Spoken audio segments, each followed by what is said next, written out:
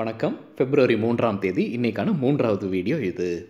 பங்குச்சந்தையில் நடந்த சில விஷயங்களை விரைவாக பார்க்கலாம். முக்கியமான தகவல் நான் செபி ரெஜிஸ்டர்ட் அட்வைசர் கிடையாது. நம்ம சேனல்லேருந்து எப்போதுமே ஸ்டாக் ரெக்கமெண்டேஷன்ஸ் கிடையாது. யூடியூப் சேனல் மட்டும் இல்லைங்க மற்ற சோஷியல் மீடியா பிளாட்ஃபார்மான இன்ஸ்டாகிராம் வாட்ஸ்அப் டெலிகிராம்லேருந்து கூட நம்ம ஸ்டாக் ரெக்கமெண்டேஷன்ஸ் வழங்குவதில்லை. மேலும் பணத்தை வாங்கிட்டு எந்த சேவையும் வழங்குவது இல்லை. பல போலியான குரூப் இயங்கிட்டு இருக்கு. தயவு செய்து ஜாகிரதையாக இருங்க.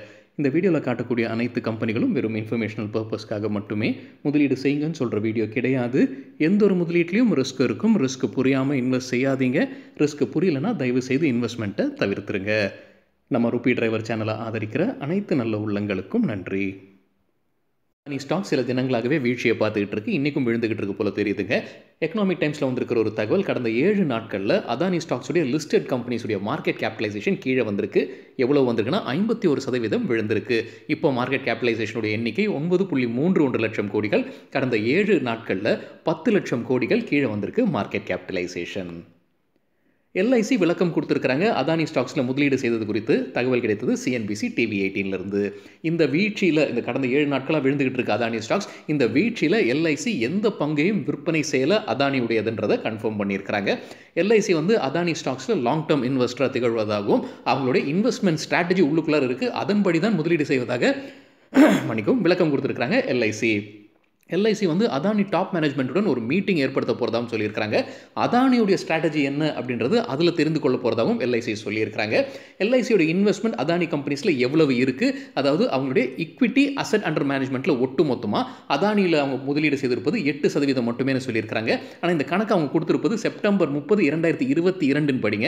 ஏன் செப்டம்பர் முப்பது கொடுத்துருக்காங்கன்னு தெரியல? அவங்க டிசம்பரில் கொடுத்துருக்கலாம் அல்லது ஜனவரி இது கொடுத்துருக்கலாம். செப்டம்பர் முப்பது இரண்டாயிரத்தி இருபத்தி இரண்டு படி இக்விட்டி அசட் அண்டர் மேனேஜ்மெண்ட்டில் எட்டு சதவீதம் அவங்க அதானி ஸ்டாக்ஸில் முதலீடு செய்திருப்பதாக விளக்கம் கொடுத்துருக்காங்க எல்ஐசி டேட்டா கிடைத்தது சிஎன்பிசி டிவி எயிட்டீன்லேருந்து டைட்டன் அவங்களுடைய ரிசல்ட்டை அறிவிச்சிருந்தாங்க. நல்லா பர்ஃபார்ம் பண்ணிட்டு இருந்தாங்கன்னு நினைக்கிறாங்க. மதியம் வரைக்கும் பார்க்கும்போது சிஎன்பிசி டிவி எயிட்டீனுக்கு கம்பெனியுடைய மேனேஜ்மெண்ட் பேட்டி கொடுத்துருக்காங்க அதில் ஒரு விஷயம் எனக்கு கிடைத்தது என்னென்னா லேப் க்ரௌண்ட் டைமண்ட்ஸ்க்கு பட்ஜெட்டில் வந்து சில மானியம் வழங்கப்படும்னு அமைச்சர் சொல்லியிருந்தாங்க.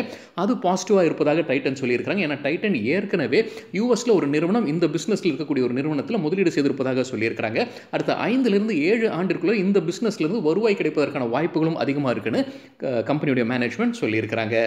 மற்றொரு தகவல் என்ன சொல்லியிருக்கிறாங்கன்னா இரண்டாயிரத்தி இருபத்தி ஏழில் இந்தியாவில் அவங்களுடைய மார்க்கெட் ஷேர் பத்து சதவீதம் எட்டுவது தான் இலக்காக வைத்திருப்பதாக சொல்லியிருக்கிறாங்க டைட்டன். ஹெச்டிஎஃப்சி செக்யூரிட்டி சில ரெக்கமெண்டேஷன்ஸை கொடுத்துருக்காங்க ஏபிஎல் அப்போலோ டியூப்ஸ்க்கு பை ரேட்டிங் கொடுத்துருக்காங்க எதிர்பார்க்குற டேரிஃப் விலை ஆயிரத்தி முந்நூற்றி முப்பத்தி மூன்று. அவங்க இந்த காலை கொடுக்கும்போது அப் ஏபிஎல் அப்போலோ டியூப்ஸுடைய விலை ஆயிரத்தி நூற்றி எழுபத்தைந்தாக ட்ரேட் ஆகிட்டு இருந்தது Aditya Birla capital buy rating கொடுத்துருக்காங்க அவங்க எதிர்பார்க்குற டேரிஃப் ப்ரைஸ் ஒரு ஷேருக்கு நூற்றி எழுபத்தி இரண்டு ரூபாய். அது ஆதித்ய பிர்லா கேபிட்டலுக்கு அவர் ட்ரேட் ஆகிட்டு இருந்தது நூற்றி நாற்பது லெவலில் ட்ரேட் ஆகிட்டு இருந்தது Aditya Birla capital Kotak institutional equities அவங்களுடைய மாடல் போர்ட்ஃபோலியோலேருந்து மூன்று ஸ்டாக்ஸை வெளியேற்றியிருக்கிறாங்க. தகவல் கிடைத்தது எக்கனாமிக் டைம்ஸ்லேருந்து எந்தெந்த ஸ்டாக்ஸை வெளியெடுத்திருக்கிறாங்கன்னா ஹெச்டிஎஃப்சி லைஃப் அண்மையில் பட்ஜெட்டுக்கு பிறகு லைஃப் இன்சூரன்ஸ் கம்பெனிஸ் ஒரு வீழ்ச்சியை பார்த்தது. அதில் பெரிய பாதிப்பு ஹெச்டிஎஃப்சி லைஃப் லைஃபுக்கு இருந்தது. இரண்டாவதாக எஸ்பிஐ கார்ட்ஸ் மற்றும் சோபா டெவலப்பர்ஸ் மூன்று பேரையும் வெளியே எடுத்திருக்கிறாங்க யாரை சேர்த்துருக்கிறாங்கன்னு பார்க்கும்போது யூனோ மிண்டாவை அவங்களுடைய போர்ட்ஃபோலியோவில் சேர்த்துருக்கிறாங்க.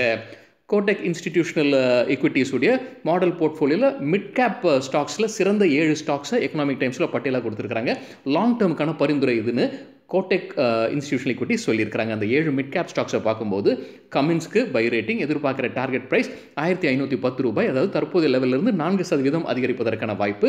ஃபெடரல் பேங்க்குக்கு அவங்க எதிர்பார்க்குற டார்கெட் ப்ரைஸ் நூற்றி அறுபது இருபது சதவீதம் அதிகரிப்பதற்கான வாய்ப்பு இருக்குது எல்ஐசி ஹவுசிங் ஃபைனான்ஸ்க்கு அவங்க எதிர்பார்க்குற டார்கெட் ப்ரைஸ் ஐநூற்றி ஐம்பது அதாவது தற்போதைய லெவலிருந்து நாற்பது சதவீதம் அதிகரிக்கும்ன்ற எதிர்பார்ப்பு.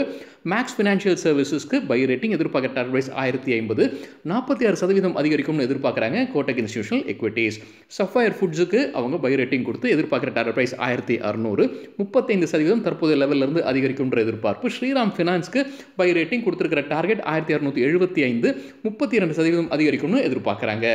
பிரஸ்டீஜ் எஸ்டேட் ப்ராஜெக்ட்ஸ்க்கும் பை ரேட்டிங் எதிர்பார்க்குற டார்கெட்லே ஐநூற்றி அறுபது முப்பத்தெட்டு சதவீதம் அதிகரிப்பதற்கான வாய்ப்பு இருக்குன்னு நினைக்கிறாங்க.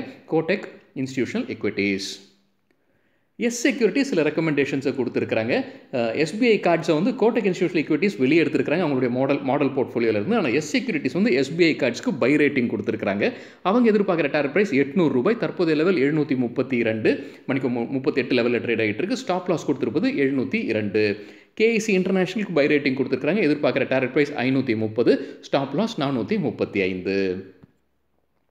ட்ரெட்ஜிங் கார்பரேஷன் தரப்பு அப்டேட் இருக்குங்க. கம்பெனிக்கு ஒரு ஆர்டர் கிடச்சிருக்குன்னு சொல்லியிருக்காங்க யார்கிட்ட இருந்ததுனா ministry of ports shipping and waterways கிட்டேருந்து கிடைத்த ஆர்டர் இருநூற்றி நான்கு புள்ளி ஐந்து கோடி மதிப்பிற்கு இருந்த ஆர்டர் மூன்று ஆண்டிற்கான கான்ட்ராக்ட் இதுன்னு சொல்லியிருக்காங்க ட்ரெட்ஜிங் கார்ப்பரேஷன் எல்டிஐ மைண்ட்ரிக்கு பிரபுதாஸ் லீலாதர் என்ன ரெக்கமெண்டேஷன் கொடுத்துருக்காங்க தகவல் கிடைத்தது எக்கனாமிக் டைம்ஸ்லேருந்து அவங்க ஷார்ட் டேர்ம் ட்ரேடர்ஸ்க்கு இது பை ரேட்டிங் கொடுத்துருக்காங்க எதிர்பார்க்குற டேரட் ப்ரைஸ் நான்காயிரத்தி எட்நூறு ரூபாய்.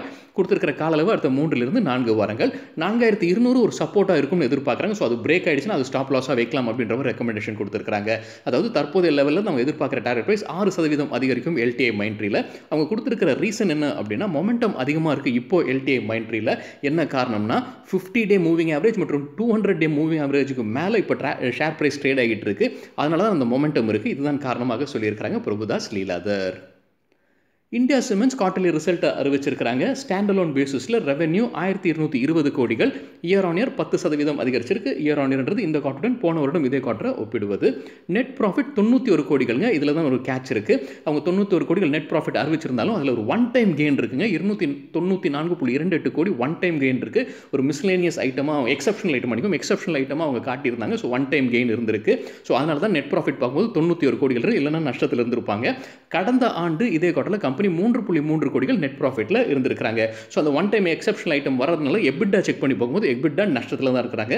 எபிட்டான்றது earnings before interest tax depreciation மற்றும் அமார்டைசேஷன் எழுபது கோடி நஷ்டத்தில் இருக்கிறாங்க. இந்தியா சிமெண்ட்ஸ் எபிட்டாவை பார்க்கும்போது அதுவும் ஸ்டாண்ட் லோன் பேசிஸில் கடந்த ஆண்டு இதே குவார்டரில் நூற்றி நான்கு கோடிகள் இருந்தது. எபிட்டா பாசிட்டிவாக குளோபல் புரோக்கிங் கம்பெனிஸ் அவங்களுக்கு சில ரேட்டிங்ஸ் மற்றும் டார்கெட்ஸ் கொடுத்துருக்காங்க சில கம்பெனிகளுக்கு சிட்டி குரூப் வந்து எஸ்பிஐ லைஃப்க்கு பை ரேட்டிங் கொடுத்துருக்காங்க எதிர்பார்க்குற டார்கெட் ப்ரைஸ் ஆயிரத்தி அறுநூற்றி ஐம்பத்தி ஏழு. எஸ்பிஐ லைஃப் இன்னைக்கு காலையில் வீடியோவில் நேற்றுல ஒரு செய்தி பார்த்துருந்தாங்க. அந்த பட்ஜெட்டில் இருக்கக்கூடிய இம்பாக்ட் கொடுத்தான விளக்கம் கொடுத்துருந்தாங்க.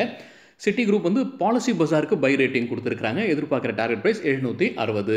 Bank of America securities power கிரிட்டுக்கு buy rating எதிர்பார்க்குற டார்கெட் ப்ரைஸ் இருநூற்றி நாற்பத்தி நான்கு.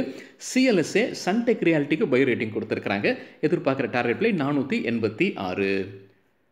ஐடிசி அவங்களுடைய ரிசல்ட் இன்றைக்கி வெளியிட போகிறாங்க அதற்கு முன்னாடி சிஎன்பிசி டிவி எயிட்டினில் ஒரு ப்ரிவியூ கொடுத்துருக்காங்க அவங்களுடைய பிஸ்னஸ் ஸ்பிளிட்டப்பில் என்ன எதிர்பார்க்குறாங்க அப்படின்றது கொடுத்துருக்காங்க விரைவாக பார்க்கலாம். சிகரெட் பிஸ்னஸ் முக்கியமாக ஐடிசியுடைய ரெவன்யூவில் கான்ட்ரிபியூஷன் வருது. சிகரெட் சிகரெட் பிஸ்னஸில் தாங்க.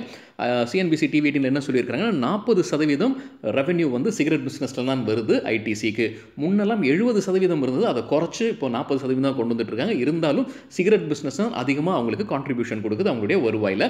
வால்யூம் க்ரோத் எவ்வளோ இருக்கும் இருக்கும்ன்ற எதிர்பார்ப்புனா எட்டுலேருந்து பதினோரு சதவீதம் இயர் ஆன் இயர் பேசிஸில் அதிகரிக்கும்னு எதிர்பார்க்குறாங்க. சிஎன்பிசி டிவி எயிட்டினுடைய கருத்து கணிப்பில் ஹோட்டல் பிஸ்னஸ் இது ஹோட்டல் பிஸ்னஸ் வந்து ஐடிசிலேருந்து பிரிஞ்சு வருவாங்க. ஒரு டீமர்ஜர் நடக்கும் அப்படின்ற எதிர்பார்ப்பு நீண்ட நாட்களாக இருந்து கொண்டிருக்குங்க.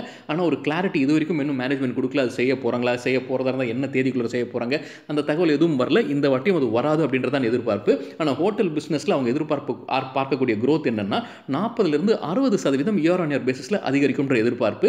இதற்கு ஒரு முக்கிய காரணம் சொல்கிறாங்க ஏன் நாற்பதுலேருந்து அது அதி அறுபது சதவீதம் அதிகரிக்கும்ன்றது? போன வருடம் இதே குவார்ட்டரில் கம்பெனியோடைய பிஸ்னஸ் ரொம்ப பெரிய அளவில் இல்லைங்க. இந்த ஹோட்டல் பிஸ்னஸில் ஸோ அது லோவர் பேஸாக இருக்கிறதுனால இந்த வாட்டி அதோடன் கம்பேர் பண்ணும்போது நாற்பதுலேருந்து அது அறுபது சதவீதம் அதிகரிப்பதற்கான வாய்ப்பு இருக்குன்னு சொல்லியிருக்கிறாங்க. ஆக்ரி பிஸ்னஸை பொறுத்த மட்டும் ரூரல் டிமாண்ட் வந்து இன்னும் குறைவாகத்தான் இருக்குது அது வந்து நல்லதாக இருக்காது ஐடிசிக்குன்னு சொல்லியிருக்கிறாங்க. அவங்க ஆக்ரி பிஸ்னஸில் எதிர்பார்க்கக்கூடிய ரெவன்யூ வந்து பதினைந்துலேருந்து இருபது சதவீதம் கீழே போகும் இயர் ஆன் இயர் பேசிஸ்லன்றது கம்பேரிசன் ஏன் கீழே போகும்னா கடந்த ஆண்டு இதே காட்டில் இது ஆக்ரி பிஸ்னஸ் நல்லா பர்ஃபார்ம் பண்ணியிருந்தாங்க. ஸோ ஹையர் பேஸாக இருக்குது அதோடு தான் ஒப்பிட்டு பார்க்குறாங்க. ஸோ அது நல்லா பர்ஃபார்ம் பண்ணியிருந்திருக்கு கடந்த ஆண்டு இதே காட்டில். ஸோ இந்த ஆண்டு ரூரல் டிமாண்டும் குறைவாக இருக்குது அதையும் சேர்த்ததுக்கு அப்புறமா பதினைந்துலேருந்து இருபது சதவீதம் கீழே போகிறதுக்கான வாய்ப்புகள் இருக்குன்னு கருதுகிறாங்க எஃப்எம்சிஜி பிஸ்னஸ் வந்து பதினெட்டுலேருந்து இருபது சதவீதம் இயர் ஆன் இயர் பேசிஸில் அதிகரிக்குன்ற எதிர்பார்ப்பு இருப்பதாக சொல்லியிருக்கிறாங்க சிஎன்பிசி டிவி எயிட்டீனில் பேப்பர் அண்ட் பேக்கேஜிங் பிஸ்னஸோடைய க்ரோத் வந்து பன்னெண்டுலேருந்து பதினைந்து சதவீதம் இருப்பதற்கான வாய்ப்பு இருக்குன்னு சொல்லியிருக்கிறாங்க. த்ரீ ஐ இன்ஃபோடெக் அவங்களுடைய குவார்டர்லி ரிசல்ட்டை அறிவிச்சிருக்காங்க ஆப்ரேட்டிங் ரெவன்யூ நூற்றி எண்பத்தி இரண்டு கோடிகள். இயர் ஆன் இயர் பத்து சதவீதம் அதிகரிச்சிருக்கு. குவார்டர் ஆன் குவார்டர் மூன்று சதவீதம் அதிகரிச்சிருக்கு. நெட் ப்ராஃபிட் பதிமூன்று கோடிகள் இந்த குவார்டரில் கடந்த ஆண்டு இதே குவார்டரில் கம்பெனி நஷ்டத்தில் இருந்திருக்கிறாங்க. இருபத்தி மூன்று கோடி ரூபாய் நஷ்டத்தில் இருந்திருக்கிறாங்க. சரிங்க இதுதான் சில விஷயங்கள் என்னுடைய பார்வைக்கு எட்டியது. நன்றி வணக்கம்.